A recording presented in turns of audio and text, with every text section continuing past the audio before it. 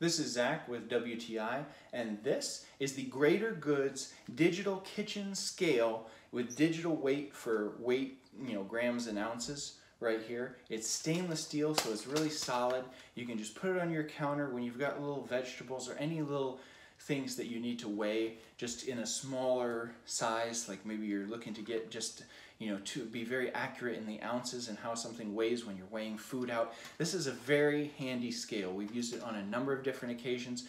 Just click the little button, you know, to turn it on and then put the, uh, you know, put whatever you're trying to weigh right on top of it on the counter.